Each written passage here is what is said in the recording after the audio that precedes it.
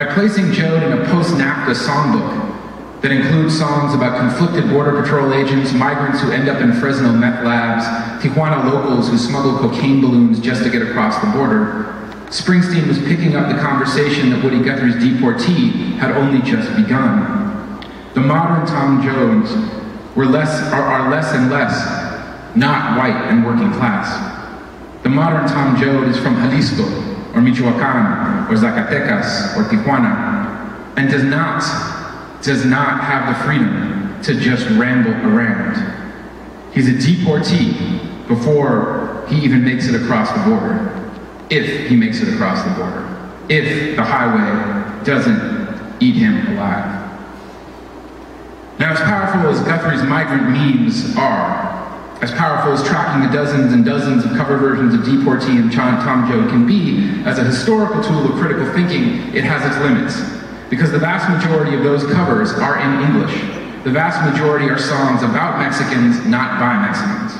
Guthrie's migrant songs have in large part birthed a chain of influence carried out by singers who for the most part look a lot like Guthrie, and sound a lot like Guthrie or at the very least, come out of the US folk music uh, history. Listening to, uh, lingering too much on this chain of influence, over celebrating it, I think, covers up the fact that decades before and decades after Springsteen spotted the ghost of Tom Joad, Mexican musicians were doing the same. In fact, nearly 18 years before the, the plane crash of the Deportee song, a group by the name of Los Hermanos Bañuelos had already put the deportee into the cross-border songbook.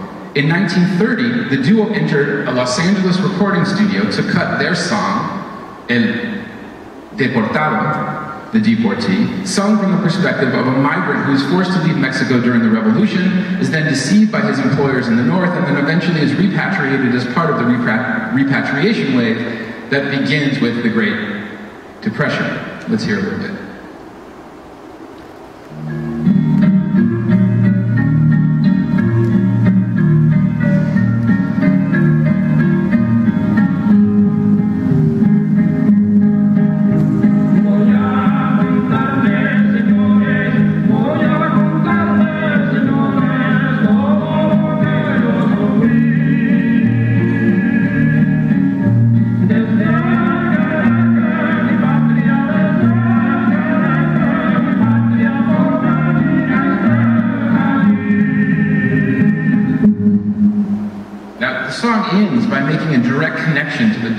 Saga of Woody Guthrie's migrants.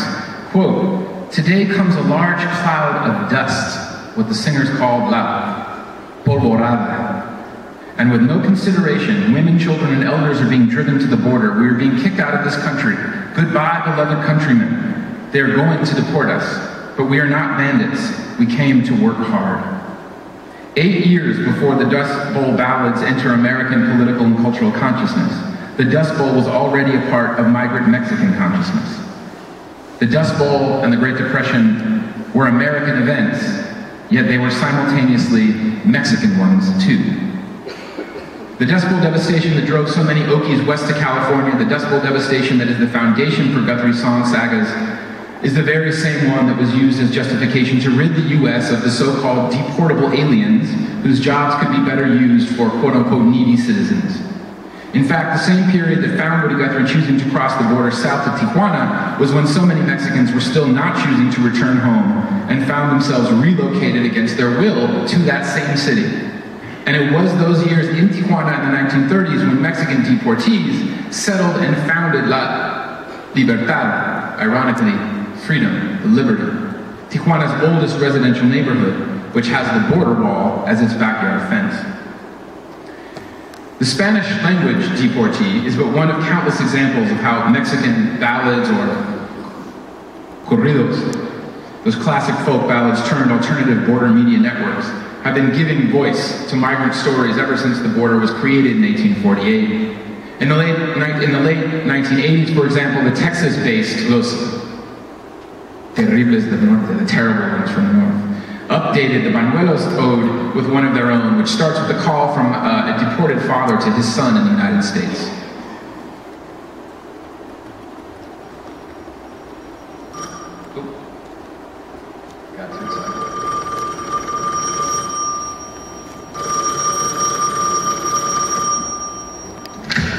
Hello? Who's this? Soy yo, hijo. Hey, Dad. Where are you calling from? De Mexico. I missed you, Dad. When are you coming home? Yo también fui deportado, aunque ya estaba casado,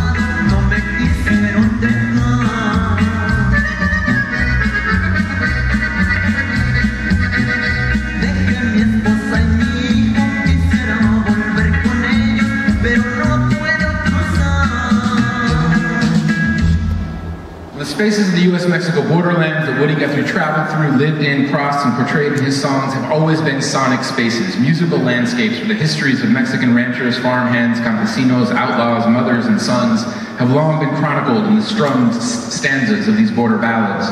So central is music to the experience of migrant life in the borderlands that in the Mexican anthropologist uh, Manuel Gamio's pioneering 1927 migration study of 2,000 Mexican immigrants returning from the U.S., he found that 20% of them brought back phonographs. For every 100 immigrants, 118 records returned to Mexico, which is to say that moving back and forth across the border has always been in part a musical act, and that migrancy is a sonic practice as much as a spatial one. Instead of treating the border, be it a line, a monument, a fence, a wall, as a partition of silence, where narrative does not exist, Mexican migrant music has always treated the border as something that, to borrow the title of Paul Botello's mural in East Los Angeles, the border wall sings and speaks and shouts. It's full of stories, it's full of narrative. The border is a living musical witness to the injustices and triumphs of Mexican life. One Mexican scholar has written extensively about Mexican songs as forming a decade spanning what he calls Songbook of Migrancy, a mobile archive of everyday migrant life, of cross-border feelings and emotions that create communities of sentiment between Mexico and the U.S., and that lives in both formal and informal markets. The Songbook of Migrancy will remain alive and valid, he wrote, as long as it continues to function as, quote, a cultural link between absences and anguish.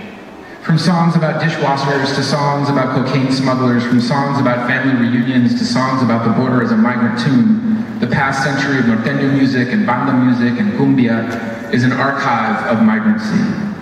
And in 2001, Los Tigres del Norte, the most prominent architects of Mexican migrant music, recorded a song they called Paisano a Paisano and imagined themselves in the middle of the Sonoran middle of the desert, surrounded by the freedom of expanses and distances, the desert's limitless horizons and vistas, while singing about their limits in a time of border war. I have spent my life exploring other lands to give a better future to my children, they sing. Because we've wanted to work, they have declared war on us. They are patrolling the borders, but they cannot tame us.